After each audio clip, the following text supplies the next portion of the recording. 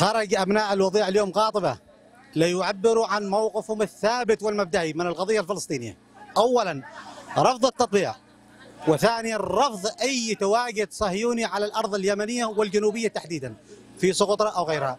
وهذه الجماهير خرجت كلها معبرة عن مشاعر كل أبناء محافظة أبين وكل أبناء الجنوب قاطبة أن إحنا نرفض رفضا قاطعا التطبيع ونرفض ونطالب بمقاطعة دولة التطبيع.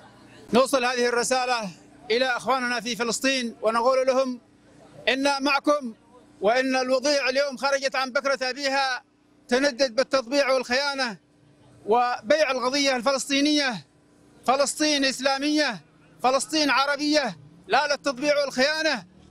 آه نبعث بهذه الرسالة من ها هنا من مديرية الوضيع الأبية إلى العالم. أجمع بأن بأن فلسطين إسلامية وستظل إسلامية إلى قيام الساعة. إننا من خلال هذه الوقفة الاحتجاجيه نوجه عدة رسائل.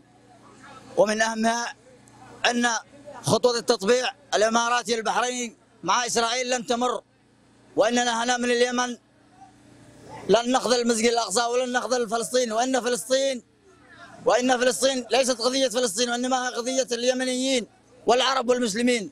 لذلك سنفشل هذه الخطوة بإذن الله وهذه المؤامرات من اليمن بإذن الله من أرض المدد.